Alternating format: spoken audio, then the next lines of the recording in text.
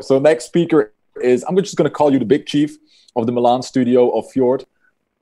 Uh, design and innovation from Accenture Interactive, 20 years global experience, and you're all about inventing. The, I think there's a really nice sentence: inventing the future at the intersection of design, innovation, and brand communication. If you walk into a boardroom like that and you say that, you're gonna get all the money in the world. Uh, we met before. I don't know if you remember in the Prague event. I think it was last uh, year. Yeah. All right. There you go. I, le- I left some sort of impression. I really loved it. I also you also gave me a Fjord Trends report book. I read it completely on the plane and then gave it to my wife. Uh, true story, and she also enjoyed it. It was beautifully designed. It was really simply explained on what the opportunities were across the industry. You're going to talk today. It's very simple. Fjord Trends 2020, the COVID edition, because you have a trends report and then something happens that nobody can predict COVID hits, the world changes, but there's still so much opportunity out there, so many trends that are changing, people reinventing themselves and their businesses. That's what you're going to talk about. So, Ashley, take it away. The floor is yours. Thank you very much, and uh, thanks for the the energizing intro there, and uh, and and hello to everyone who is uh, obviously kind of tuning into this this morning. And as you said, yes, a look a bit of how uh, things are, are are, changing every year. Uh, for the last 13 years as Fjord, we've been putting together, and let me start sharing my screen, but we've been, um, you know, compiling really signals that we're seeing. So trends, not that are far away in a distant, but signals from what is happening um, and, uh, and, and changing now. And, and they get compiled around this time of the year uh, across about 33 studios around the world. So we're looking at those kind of commonalities that could be coming to life in the next 12 months or so. So, you know, head in the clouds, but, you know, feet well on a, on a changing ground at the moment in, in, in understanding how we use these. And, and these trends are also not just wanting to be theory, uh, they're very much tools that we apply in practice. So um, in projects, we have activities like trends reframing, where they give us then, if you want, you know, parameters and against which to measure what we're doing. Uh, and as you'll also see in this deck, we, we always look to try and make it actionable. So give uh, elements of what to be, uh, you know, thinking or doing uh, around. But of course, you know, uh, January, these came out, and two months later, uh, as you said, I'm speaking from Milan. So we were unfortunately early adopters for once, uh, and have now been you know, sitting at home speaking since then. So COVID came along and has really you know, changed things dramatically. You know, you have a global crisis, which unfortunately is still unfolding. If we look at Europe, you know, our curves are starting to, you know, have an uptake. Uh, but this has, you know, had lasting impact now beyond us getting out of a COVID crisis.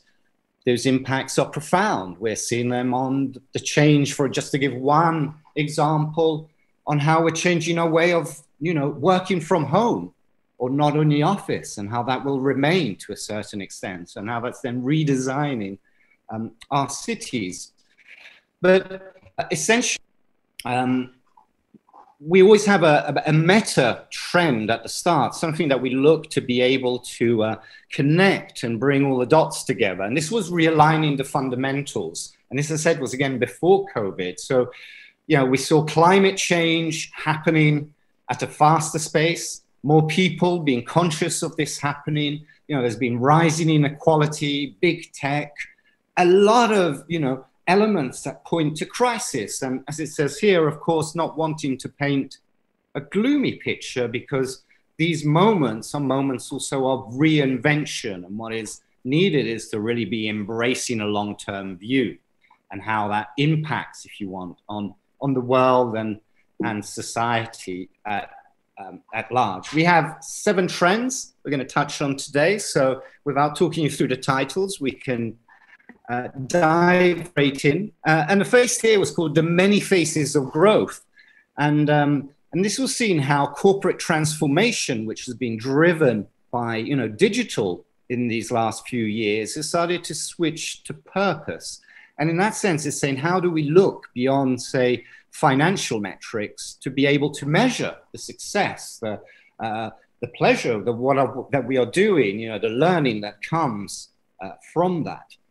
Uh, and of course, this, this realigning, um, this many faces of growth with COVID has come again under something that has had a, a, you know, a faster impact. We started judging organizations and individuals really based on, on their response. And you know, this is still occurring now. We, we look at not only companies, we look at our governments and how they have reacted or not uh, to elements. So there's this big shift there, and it's been very practical in times, like when back during the lockdown, there were companies that you know changed their production lines to be if they're larger things creating ventilators or smaller companies like in italy that were producing grappa started making hand sanitizers uh, and of course, then you know, on the opposite side, we're seeing rise in unemployment, which is really spiking. So there's big considerations really for companies that are also at the same time needing to balance their their, their, their balance sheets and make that happen.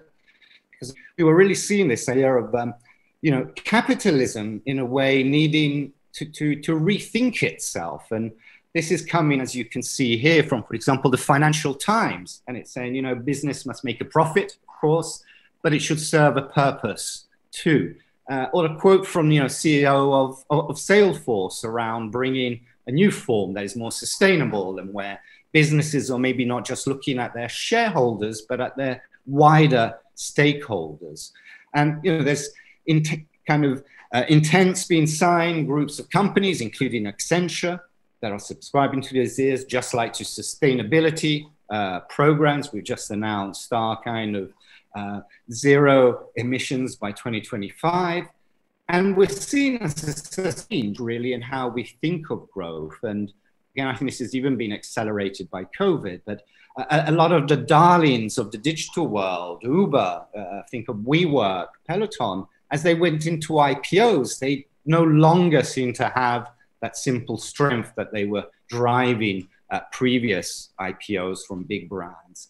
And then, you know, on other side, uh, as this came under attack, we saw things like, you know, countries like New Zealand unveiling a well-being budget that was, yes, looking at economic growth, so, you know, GDP elements, but also what makes it a great place to live, you know, and how do you drive life? And interestingly, uh, the Prime Minister of New Zealand just in the last few weeks has been, you know, talking, you know, possibility of a four-week uh, working uh, day and how that can change. And there's been experiments happening there. Microsoft, who were just on, but in Japan, run uh, a, a, pilot in on a four-day week, and they actually saw their production increase as their working hours went down. So we're saying it's a time to really examine. We're seeing in this moment of crisis uh, all the beliefs that we hold and uh, and you know also way of giving meaning and metrics so so adding to those economic models. It can be learning it can be happiness it can be a communal longevity. And of course for businesses it's a challenge and it's not an indifferent challenge is as i said finding if you want these purposeful objectives while of course maintaining profit and, and a healthy business to allow that, that purpose to take place I was saying it's, it's, it's time. How will you, you know, rethink your customer experience, but also your employee experience, you know, and how do they can kind of work together to create value? And, uh, you know, COVID here in having remoted, made, made work remote again, you know, how does value, new value come out on, uh, on, on that side? And if we go on to the second, uh, it's called money changers. And then here it was really looking at all the signals coming at different speeds from different countries, really, on how money is changing. So it's moving from being something physical, something tangible that you, you hold in your hands, to more and more being you know, zeros and ones. So a file, a digital file. And, and, and what does that mean? What does that implicate? And again, COVID gave a big acceleration to this, especially during that initial lockdown period when, well, money was seen, physical money was seen as being contagious. Uh, so there was a big push, even from people that didn't, to actually go towards using digital tools, you know, preferably contactless. I see it in my little stores here in Milan. Before they would have always wanted cash. that change happened. And just reading a couple of days ago in uh, Wired UK, there was an article called The Pandemic Has Killed Cash. And there was an interesting statistic in that, where it's saying that during the pandemic in the UK, 9,000 uh, ATMs have been disconnected from the network. So not only money disappearing, physical money, but also the network that was allowing that to happen. And uh, so what is taking, you know, its place is, of course, in, in Primis, we're seeing, you know, a new form of uh, fintechs and, and, and, digital attackers from in the top right, Monese, which is allowing you, if you're thinking to run, you know, euros and maybe pounds, sterling accounts. So for Europeans to manage cross border life, to start, but also to players like Apple or Google moving into that financial space. And a quote here of uh, from Sweden, where only 13% seem to remember using cash for a for a purchase. So this new mental model, as we also mean, you know, going to digital, into crypto, potentially into cryptocurrencies, is how does that change our way of thinking of uh, of, of, money. So this mental model becomes, as I said, from something physical to a, file. And, and if you want, think of it like in uh, back in the days of when we went from what could have been a vinyl uh, piece of music that all it had on it was the music to 20, 30 years later, as we have, you know, our music on MP3, stuff on Spotify, it carries a whole more information than simply the music that it is there. So within um, you know this this space, it's like going, how can you then really start thinking of money transactions in a different way? You kind of think it's say, you know, if every payment carries information about you or your customers, what would that be? So if you're a railway and uh, I'm a student and I go and buy my ticket, maybe it recognizes my being a student and I have automatically my discount that is entailed as a a banal example, but this putting information in cash again can really open up a whole series of, of services, and that don't necessarily come from need to come from the financial services world. And um, and this change in, uh, in in managing our cash. Uh, you know, biometrics start playing more and more of a role, takes us to this third trend, which is called walking barcodes. And essentially how both with kind of 5G now being rolled out, so we have more data that can flow more rapidly. This is you know this faster data connection really, uh, and and tools that get disseminated, digital tools in physical environment are making more and more possible this kind of body, facial and body recognition.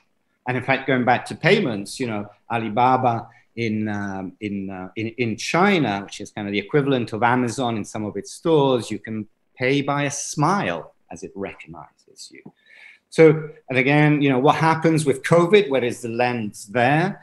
Uh, you know, we've been looking and at how we can monitor, you know, that digital barcode. How can we keep, you know, track and trace here? And it's worked better in some countries as others.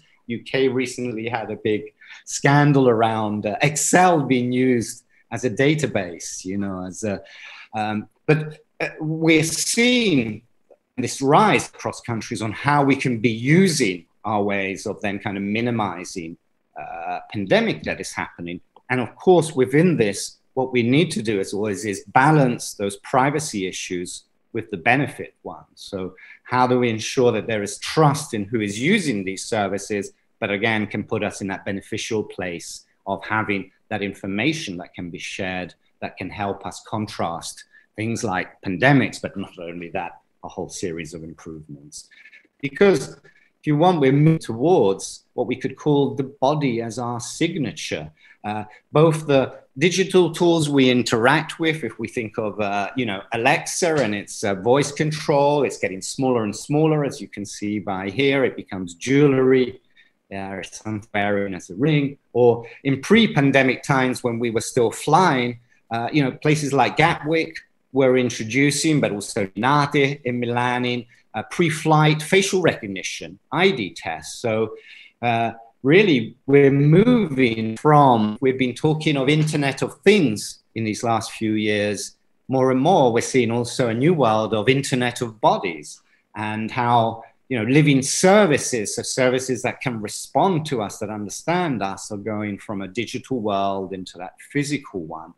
And the key to this change is learning, if you want, from uh, data mistakes that were made in digital world. Because as you can imagine, one thing is if someone hacks uh, my uh, my email account, okay, I have to change my, my my password. If my you know my fingerprint gets hacked somehow that's a lot more difficult for me to to kind of go in and replace. So uh, again there's an element of data minimalism which if you've heard past trends we have spoken about and again that strong element of, of, of consent that needs to come in uh, to this again to the left if we then think you know it is also again opening up a whole world of services that can be unlocked by biometrics. You know, we have even here element of facial recognition. So perhaps if you're calling an emergency, it recognizes that there is that that you know urgency in your voice, and it can help then uh, put your call through a lot faster. And in this changing, you know, as we walk around as walking barcodes, we're all dissolving in a way. Um, and into what we're calling for this year kind of liquid liquid people where what does it mean? You know, we all wear a series of, um, of, of, of, hats in our lives. We have our professional life as an employee. Uh, you know, we are consumers in what we go out and we buy and we use. We are parents. We can be educators. We can be, you know, sons and daughters of people. But all these identities somehow have again come into discussion. And COVID, once again, through a moment of lockdown, has accelerated or exacerbated this. So it has both seen behavior change. Here is mentioned, you know, hand washing, uh, working from home, or old habits like that toilet paper hoarding at the start of lockdown, which was very bizarre. But it continues now between who wears masks and who doesn't, and how do we how do we confront different things? And, and it made us rethink priorities, what was important or not.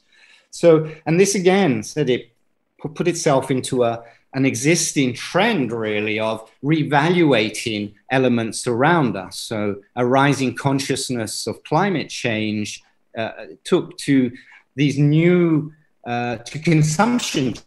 Uh, and here, an example comes from Sweden, where this word flygskam came into being, of people saying, "No, no, you should be, you know, embarrassed of, of, of flying because of its impact on on the climate."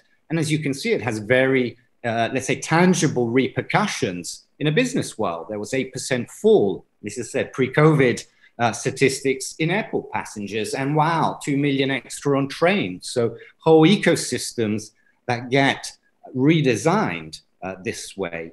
And in this world of liquid people, even things like the Impossible Burger, which is this new generation of uh, non meat burgers, is not actually eaten just by you know vegans or vegetarians, but 95% of people buying them in the US are meat eaters and they've shifted to something. Or we're seeing in top right, you know, the first gender fluid uh, dolly arriving from from a big producer like Mattel, or a change in work that is taking more and more to freelancing. So here you know, we think that this, this kind of COVID 19 has accelerated what purpose means and what is that personal element to it, creating more anxiety and ethical ones. It's even health anxiety in these moments, and not to think of it necessarily as a generational shift. This is not coming just from young people, it's something that you can see in people in their 60s, like in people that are middle aged or, or in teens. So it's going, how do you then think if you're a company on uh, or designed to help your brand define people beyond what they consume, they consume or how they work?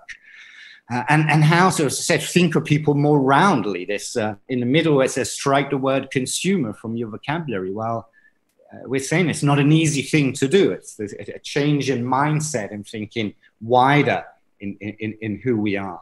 And the fifth one as we uh, go on is called designing intelligence. It takes us back to the tools uh, we use.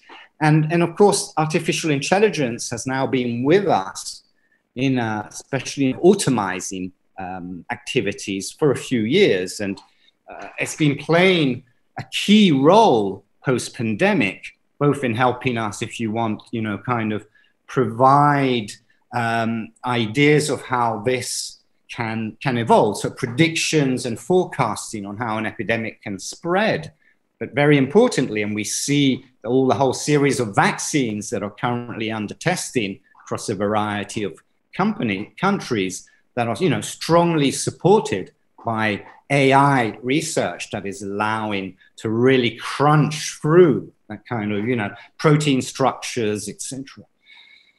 So then there's seen from what has been, as I said, that embedding of an AI that has disappeared into our background. So Google Lens, that I can look at a flower and it can tell me what it is, or my skincare products that are uh, you know, being designed by an AI to be fully fitted to the kind of skin type that I have. Um, are sitting there in the background. But what we're seeing happening now is actually this kind of move to a new stage for AI that moves from automation to value creation and essentially helps us navigate times that are becoming you know increasingly complex. So seeing uh, ai tools being used in boardrooms at the moment or you know or as tools for ceos there to to be making decisions that, that, that can augment what they can that we can as humans or we're seeing AI being, you know, adopted to actual design practice. Those seats that you see down there in the left corner is a collaboration between Philippe Starck and then an algorithm.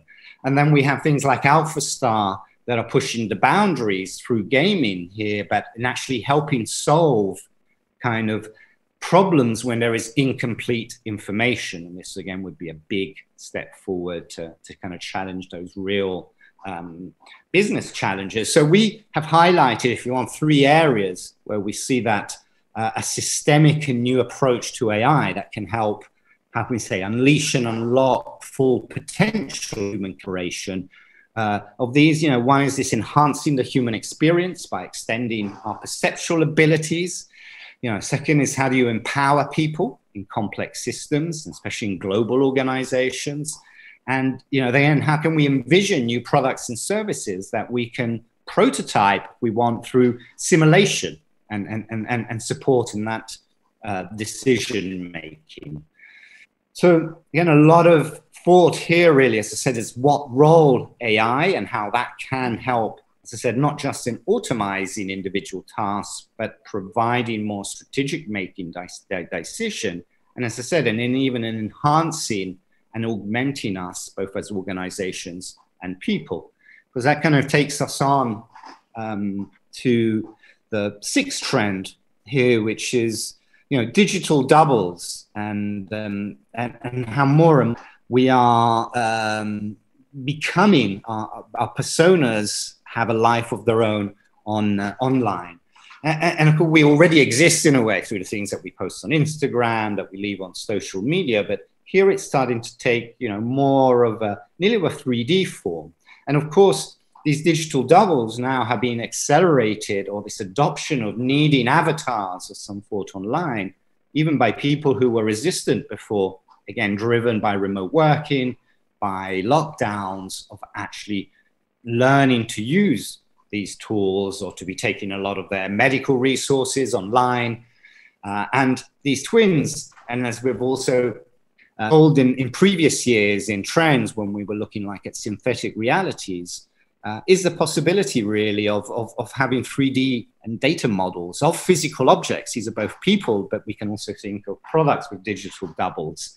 Uh, a lot of the work we have been doing this year has been creating virtual experiences uh, that provided this, this second life of, of, of, of, sorts for 2020. Um, and of course, if, if we're looking on yeah, that that can take, just like people, our digital double also has, you know, a soul, and that soul is made up of our data. So key to this in, in being able to express ourselves more through avatars is uh, online is where does our data reside?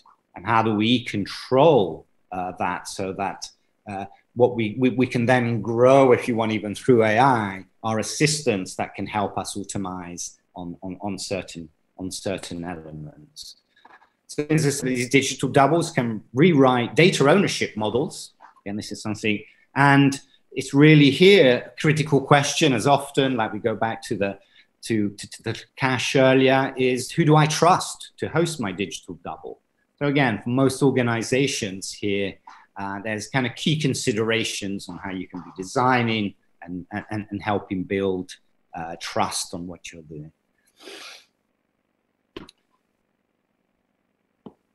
So again, you know, I said here, it's thinking if you think through what categories of interactions, you know, we could be opening up by digital doubles.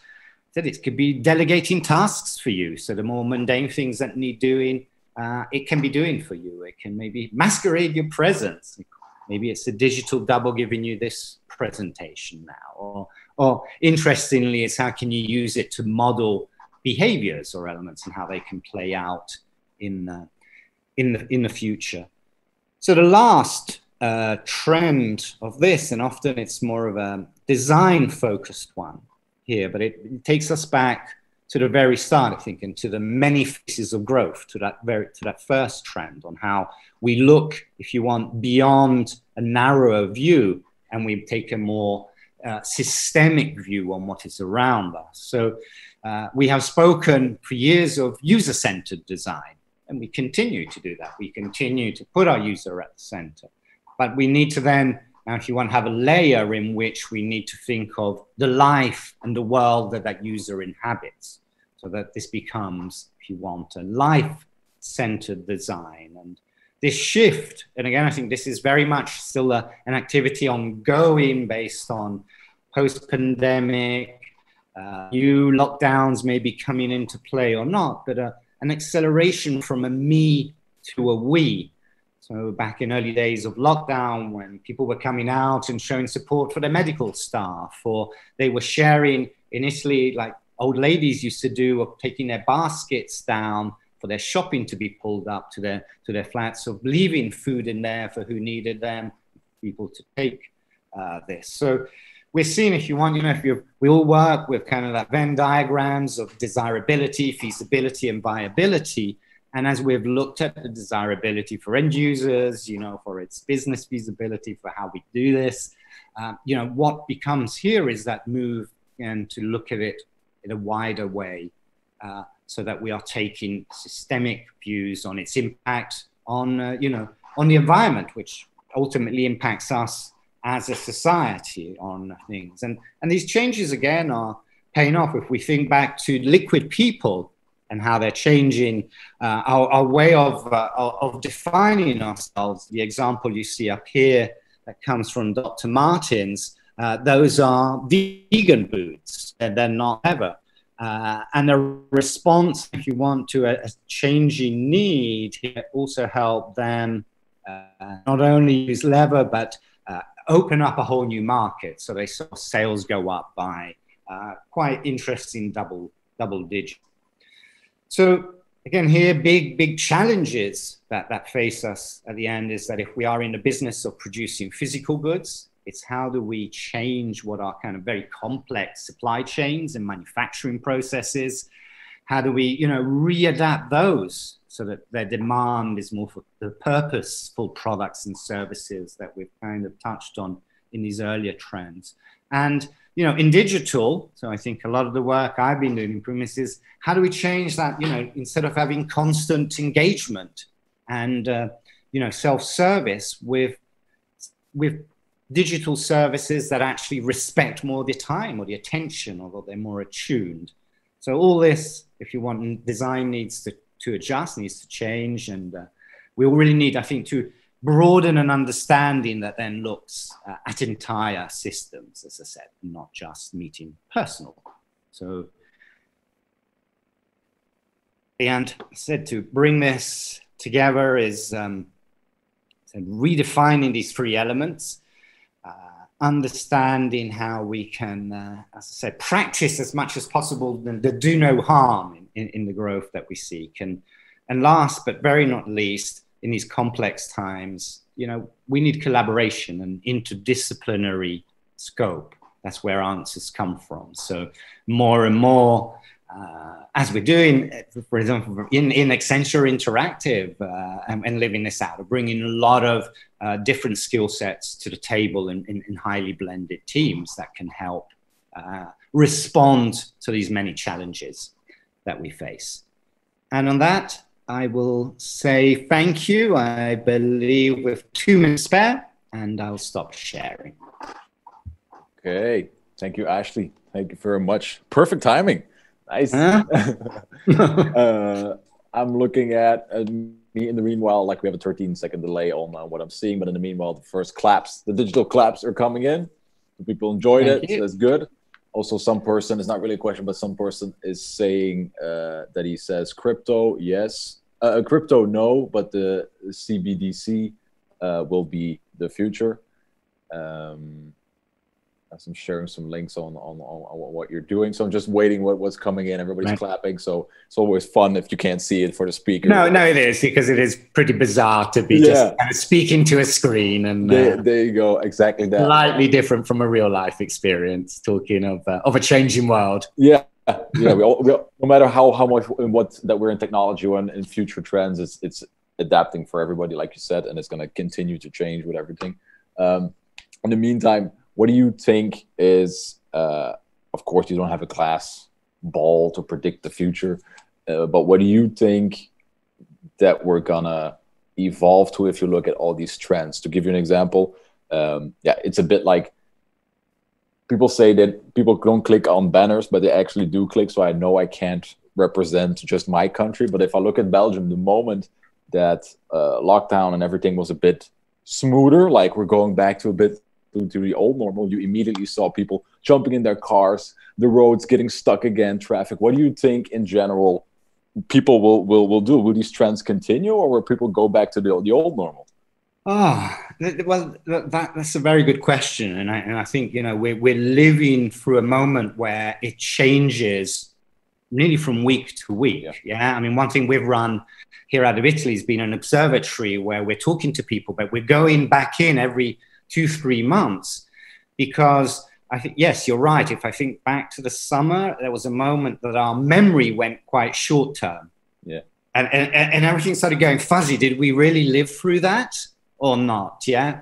And unfortunately, again, now I think we're going to be rediscovering some some truths or not as, as as this curve goes up and how we're how we're confronting it. So, uh, really, definitely not a time for for, for crystal balls because it is unprecedented times. I think the importance, Brian, keep a longer view on yeah. things, you know, and, and and and look, which is very difficult, more systemically as we do on how, on how things interconnect. Uh, that's true. True. And as, as I said, it, me, it, I, I, think I probably say it a lot of times, but when I think of crisis, was a Chinese ideogram that crisis is also the same for opportunity. So I think that's true.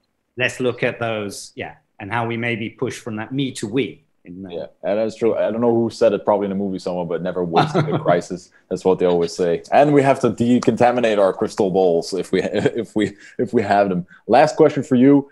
Um, you presented the trends. It's what you do on a daily, checking what what is what is like you said, inventing at the intersection. But what personally is for you the number one? If you have to choose of everything what you're seeing these days, what are you most excited about for the for the future? What is your personal uh, preference in the um, development?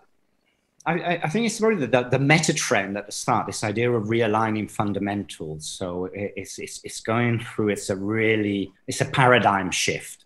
Mm-hmm. Uh, uh, and that can give moments of being scary, but others you're going, wow, it's, yeah. uh, we definitely live in interesting times. And I think, you know, not so much predicting because you can't, but you can contribute towards inventing something.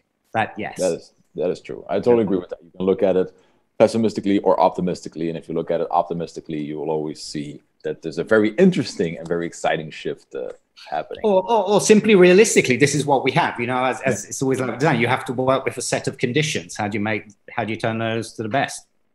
Not true. Thank you very much, Ashley. Our time is up. Thank meanwhile, you. Meanwhile, things are still coming in, applauding, and people are also nah. the polls. So thank you very much. Have a great day. Uh, Ciao da Milano. Have a good continuation, guys. Thank you very much. It Bye.